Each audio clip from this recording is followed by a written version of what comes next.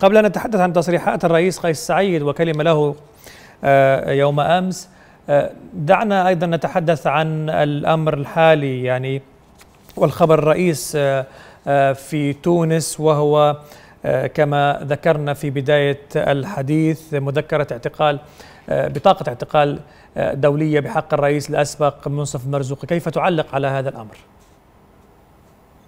مسألة النور الحقيقة يعني مسألة البطاقة هذه تتمثل في نطاق أوسع هي نطاق الإجراءات الاستثنائية هذه حكومة حكومة الإجراءات الاستثنائية ورئيس الجمهورية اللي الآن خلق تقريبا كل الإجماع التونسي حول لحظة 25 جويلية وما تلاه. حقيقة أن رئيس الجمهورية يذهب بالسرعة القصوى نحو إيجاد ديكتاتورية يمارس من خلالها لوحده كل السلطات التنفيذية والتشريعية وأخيرا القضائية. إن كان لما قام به رئيس الجمهورية من حسنة فهو حسنة التسريع في كشف حقيقة أنه هذه نعم. السلطة سلطة الأمر الواقعية ليس من اهتماماتها أو أولى اهتماماتها المسألة الاقتصادية ومسألة إنقاذ البلد بل هي بصدد تصفية حسابات سياسية لا تسمن ولا تغني البلد من الجوع الذي هو للاسف الشديد مقبل عليه. لكن يعني استمعت إلى تصريحات وحديث المنصف مرزوقي قبل قليل عرضناها كان مع قناة الجزيرة وذكر بأنه هذا القرار غير قانوني ويفقد وفاقد للشرعية وأيضا سيواصل مواجهة أو هذا الرئيس الذي وصفه بالدكتاتور الثالث في تونس. ماذا عن القضاء اليوم في تونس؟ هو بعيدا عن التشخيص يعني. طبعا هناك رمزيه للرئيس الأسبق الاستاذ منصف المرزوقي الدكتور المرزوقي هناك رمزية مهمة جدا لأنه لا أحد الآن يمكن أن ينجو من الأحكام الاستثنائية ومن حكومة الأحكام الاستثنائية ومن رئيس الفترة الاستثنائية. لأن هذه رسالة مهمة. وهذا عندها انعكاسات واضحة على الداخل وعلى الخارج. نقول انه مؤتمر الديمقراطيه الذي ينتظم في أمريكا. لم تستدعى تونس له وهذه إشارة أخرى أيضا انه تونس بدأت أو الموقف الدولي بدأ يحسم أمره في اتجاه اعتبار انه ما حدث في تونس ليس من داخل الديمقراطية بل هو من خارجها.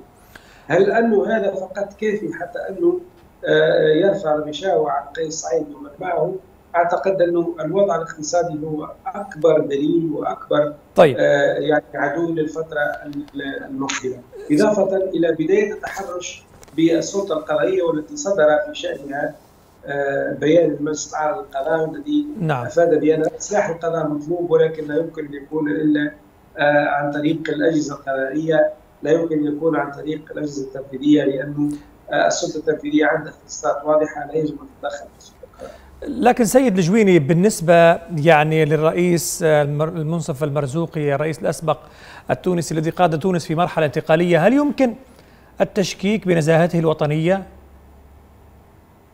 طبعا هو نختلف مع الدكتور المرزوقي في أشياء كثيرة ولكن ما يمكن الاعتراف به للرجل أنه قارع الدكتاتوريات سواء في عهد بورقيبة ولا في عهد بن علي قارع نظام الحكم الفردي قارع التفرد بالرأي قارع القمع و يعني محاولة استعمال أجهزة السلطة والقوة الصلبة لفرض الرأي. وفي حد ذاته هذا فقط يشهد للرجل بأنه يعني رجل مدافع عن حقوق الإنسان وصيته عالمي إضافة إلى الشهادات الدولية المتواترة والعالمية سواء من أوروبا من أمريكا من عدد من الديمقراطيات العريقة للرجل.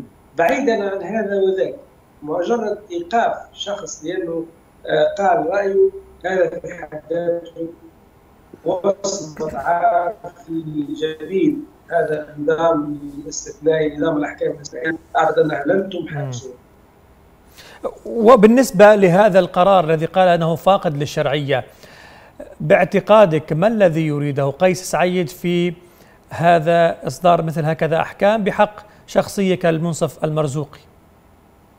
هي رسالة واضحة رسالة ترهيبية لكل الأصوات الحرة التي تصدح في الحقيقة وتحاول أنها توضح هذه الممارسات اللا ديمقراطيه التي تتبرع وتتستر بالدستور في حين أنها خارج عن الدستور وخارج عن النظام الديمقراطي ما نعيشه الآن هو وضعية استثنائية ضرب فيها بالدستور في إعادة الحائط سن الرئيس قيس سعيد سنة سيئة سيكون وزنها في رقبته وفي رقب رقبة كل من يساند هذا الانقلاب لأنه في نهاية الأمر لن نضمن أن الرئيس المقبل لن ينقلب على الدستور الذي قد يكون جديدا وبذلك ندخل في دوامة وفي سلسلة من التأويلات وسلسلة من التغييرات التي نعرف لها بداية والتي خطها قيس سعيد الشديد.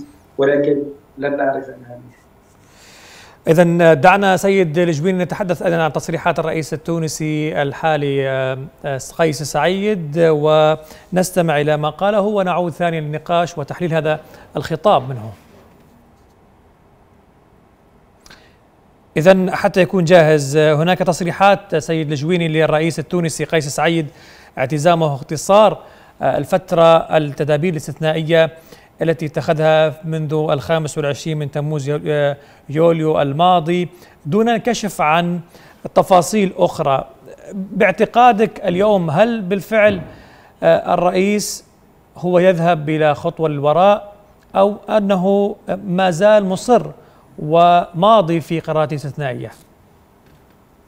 الحقيقة الرئيس لا يتكلم ويتكلم فيتكلم في اتجاه واحد يبث دون أن يستمع ويعني يتكلم بمنطق الأستاذ الذي يكلم التلامذة بتاعه. الآن الوضع غير الوضع. أعتقد أنه انطلاقا من الحملات بها الحواريين بتاعه يبشرون بنظام جديد غير موجود في أي بلد من بلدان العالم كله. هو أقرب للنظام الجماهيري اللي كان موجود في ليبيا الشقيقة واللي شفنا جميعا ما الذي أدى به إلى هذا البلد. رغم الثروات الطائله ورغم المساحة الكبيرة بتاعه أعتقد أنه بذور هذا الانقلاب وبذور فشل هذا الانقلاب موجودة في ذاته موجودة في هيكله موجودة في الناس الناطقه باسمه موجودة في الفوضى المصطلحية اللي ما هيش واضحة عند الناس اللي قايمين به فضلا عما يريدون طيب. ان يكونون في ركبه مع ما يجري الآن من مذكرة ببطاقة دولية لاعتقال الرئيس الأسبق مصطفى مرزوقي ومع تصريحات الرئيس الحالي قيس سعيد واختصار الفترة الاستثنائية والقرارات الاستثنائية في البلاد السؤال الذي لم يجاوب عليه حتى اللحظة لنقل هل اتضح إلى أين تسير البلاد؟ للأسف الشديد بالخطاب الذي يتخذه رئيس الجمهورية بخروجه عن الدستور بان نتجه جميعا إلى دولة اللا قانون واللا مؤسسات. هذا الرئيس للأسف الشديد خرج عن الدستور، خرق الدستور، خرق الإجماع الشعبي وما زال الماضي في هذا الخرق بتأديب الرأي العام بألفاظ أقرب ما تكون إلى تسعير الحرب والاحترام الآلي بين التونسيين في وقت اللي نحتاج فيه أكثر من وقت أكثر من ما شكرا. إلى لحمة وإلى وحدة بين التونسيين من أجل إنقاذ البلد مما هو فيه. زد على ذلك الوضع الاقتصادي الكارثي والصعب والذي لم تفتح لاجله أكياس الرز التي كان مفترض أنها تأتي لأنه مفاتيحها في واشنطن. وواشنطن حسب ما ظهر في هذه التقارير الأخيرة لن تسلم المفتاح لأجل توفير الرز. فهذا المأزق اللي وضع قيس سعيد نفسه فيه ووضع البلد معه فيه هو مأزق غير مسبوق سواء داخليا سواء اقتصاديا سواء في السياسة الخارجيه التونسيه التي أصبحت للأسف الشديد.